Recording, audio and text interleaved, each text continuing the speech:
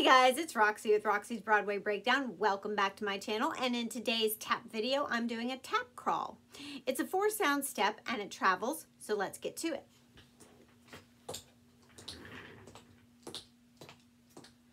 All right, so a tap crawl consists of heel drops and toe drops. Um, don't think of it as a cramp roll in reverse because a cramp roll is a toe step and heel drops, like toe, toe, heel, heel. And you're approaching it from above and it has that little roll sound. Um, this is this is a tap crawl are, are heel drops and toe drops and you travel like I say. So two totally different steps um, and uh, you don't you don't ever want to get the two confused.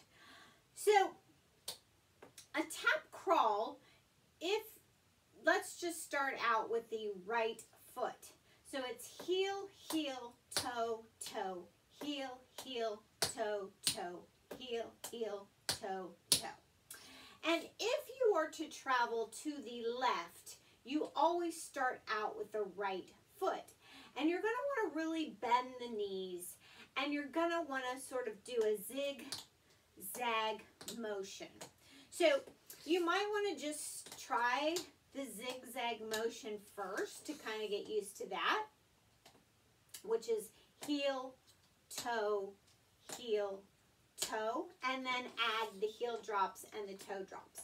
So let's go very slowly. Like I say, you're going to start out with the right foot and do heel, heel, toe, toe, heel, heel, toe, toe, heel, heel, toe, toe.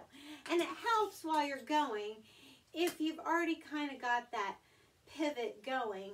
Because if you if you try to do it standing and then you know that heel's going to get in the way.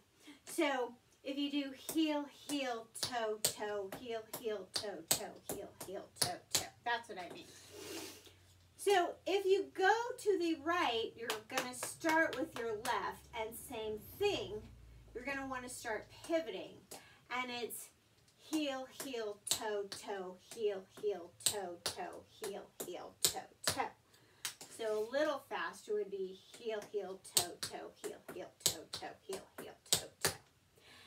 And that is a tap crawl. All right, hope you liked that video. Check out all my other videos, subscribe to my channel,